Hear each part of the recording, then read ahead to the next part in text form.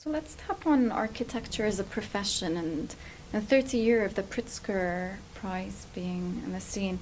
You've been the only woman Arab architect to have won the prize. Do you think the profession is gender biased? I don't think it's a profession. What is it then? I think people are biased. I mean, And women aren't into it then? no, I think that women, well,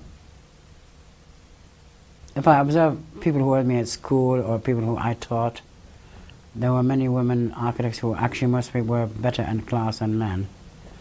Men would not like to hear that, but um, equally good. I think it's very, the continuity is a problem. And I think there, I mean, you know, people to really excel in anything need a level of confidence and encouragement and support. And that doesn't exist everywhere.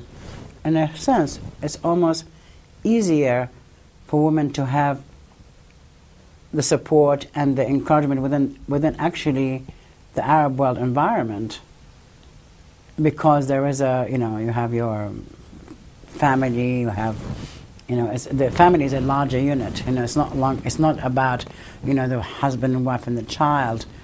So you have a big s- support system. And I think, like, my friends in Iraq who went went into architecture or medicine, uh, I think at the time found it much easier maybe than their counterparts in the West because they had a support system around them. Um, but in the West, I mean, I had prejudice because I was an Arab and I was a woman. Also, I did unconventional stuff, so I'm not sure which came first. You know, one can say all of it together was too much. Yeah, a woman in the profession was very difficult. Uh, it might be still difficult. It's easier. I mean, the difference is enormous in 20, 30 years. Um, the the foreign problem was a was always a problem. Uh, you know, doing things like winning Cardiff just after the Iraq Gulf War was not a very popular thing, and I do think there was some prejudice there. Uh. I'm also, also I'm, I will never be, never be part of the boys' network. I mean, so you know, despite the interest and tremendous amount of press, we don't have many commercial projects in the UK nor in America or anywhere. I mean, maybe in other countries, but not in these. So who supported you, or did you feel like you had to go it alone most of the time? No, I had a tremendous amount of support from uh, my parents, um, from, well, you know, students of mine or colleagues, uh, from my teachers, from, yeah, from these people. I mean, I always had a very big kind of student following. It was still very difficult. I mean, I bumped into a friend, a student of mine, only a few days ago.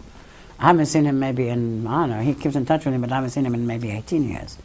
And he said, my God, you had to fight. I mean, I, you know, I sometimes forget it, but it was a fight. And, um, but so, I know, I, I couldn't have done it. I mean, there were endless sleepless nights, uh, you know, in the office. Um, I couldn't do it on my own. It's not, it's not a, architecture, unlike all the other things, it's not a kind of a, a lonely profession. You know, you've got to do it with a team, and team structure is very important. And the team is is uh, teamwork is very important, and um, because everybody brings something else to the table, you know, and and I think if we work well together, that that that layering uh, in terms of input uh, is a very enriching and exciting process. Architecture is, is a fantastic profession. It's very difficult. It's extremely. There's no reason for it to be so difficult. And honestly, I mean, I used to always tell every kid when my mother, "Oh, great, do it. It's fantastic." But it's really, I don't know what I'll do, but it's uh, too. Maybe one has to work on making it easier, but it's just too painful. You know, it requires an incredible time. It's incredibly inventive and it's very exciting, but it's very very demanding, you know, to do it well. And that's why most of us do it badly. And people, on top of all of it, people don't have respect for you. I mean, if you're a doctor, they don't argue with you how you should treat them. If you're a lawyer, they don't argue with you how you should advise them. If you're an accountant, they don't tell you how to make your, you know. But with architecture, if you're a musician or whatever, I mean, all the arts, I would say, are not respected enough. They're very difficult. They think it's kind of some sort of whimsical, you know, artistic thing, you know. But it's very difficult to fine tune and refine these things, you know, and um, in all the professions in, uh, in the arts, and they're not given enough. You know, they just could be cancelled. You have no control. How can you control as an architect?